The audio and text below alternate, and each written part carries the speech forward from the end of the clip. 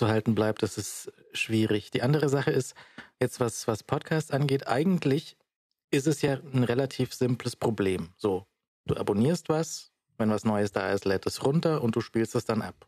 Fertig. Das ist so wie so wie E-Mail, ja. E-Mail kommt rein, du liest sie, beantwortest sie, fertig. Wenn man. ja, Leo?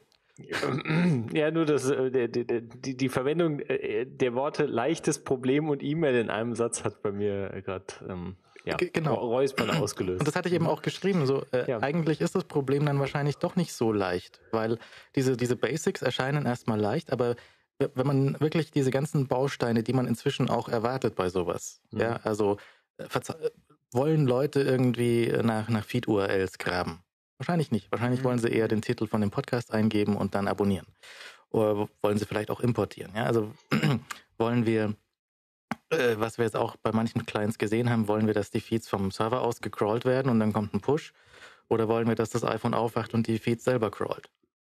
Kannst du auch so und so sehen. Ich mhm. finde jetzt aus persönlicher Erfahrung äh, besser, wenn das iPhone das selber macht, weil dann funktioniert es für mich zuverlässiger. Ich hatte jetzt öfters solche Server-Crawler, die einfach ja, Mist gebaut haben und dann haben sie irgendwas Falsches gecached und dann war halt die falsche Information im, im Server und dann kam die Folge nicht. Die Frage ist aber doch dann, ob nicht, ob der, der den Server-Crawler geschrieben hat, nicht auch derselbe ist, der den Offline-Crawler geschrieben hat und ob das dann nicht genauso in die Hose geht. Die kannst du wenigstens, wenn es ein Offline-Crawler ist, kannst du die App löschen nochmal laden, wenn der Feed irgendwie besser ist und ja. dann, dann geht's wieder. Ja.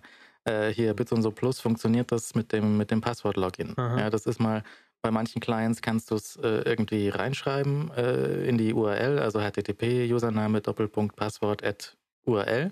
Äh, das geht bei manchen. Bei manchen führt das dazu, dass dieser äh, Link dann in deren Verzeichnis gepublished wird, was auch nicht so toll ist. Ähm, dann gibt es noch die Alternative, dass äh, ich habe mal irgendeinen Android-Client gesehen, äh, der hat die Funkt der unterstützt Passwort-Feeds, aber die Einstellung, wo du Username und Passwort eingeben kannst, ist noch drei Menüebenen weiter unten, dass du es nicht mhm. findest. Mhm. Ja? Und ähm, dann, was ist mit Audio? Was ist mit den Show Notes? Will ich die Kurzbeschreibung? Will ich die Links klicken? Äh, wie ist das mit äh, hier Streaming oder Downloaden? Wenn, wenn, du mhm. jetzt eine neue mhm. Folge genannt bekommst, willst du die sofort streamen oder willst du sie dann downloaden? Klappt es, dass du losstreamst und dann in den Download übergehst?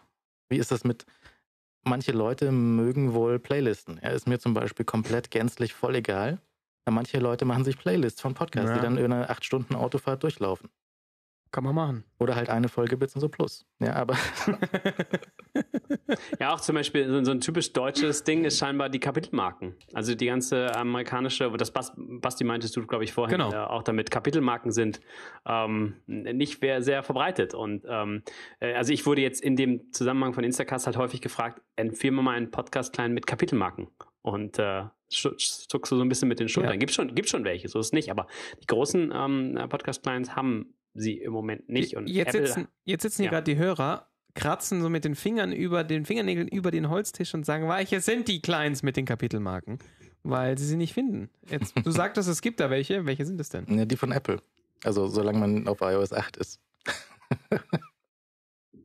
Es gibt so ein äh, ganz, ganz nettes deutsches Projekt, glaube ich auch. Äh, Podcat heißt das, hat auch Kapitelmarken. Ähm, aber die großen, die man nennen würde, habe ich ausprobiert. Also Pocketcasts und, und Downcasts ja. und ähm, Overcast, äh, die, haben, die haben halt keine Kapitelmarken. Ja. Ja, das mit den, also zum Beispiel auch, wissen nicht alle, die Bits und so hören. Die Kapitelmarken bei Bits und so, die gibt's, wenn man sich Plus holt. Das ist so eine Freemium-Schranke hier bei Bits und so. Die Kapitelmarken gibt's, wenn du dir Plus holst. Ja. Das ist auch so eine, das läuft jetzt seit Anfang an hier so. Und ähm, das, das ist halt die, die Entscheidung dafür. Und dann kannst du halt auch sagen, okay, ich gebe hier die, die, kauf mir Plus und dann kriege ich halt Kapitelmarken und kann zwischen den Dingern hin und her springen. Mhm.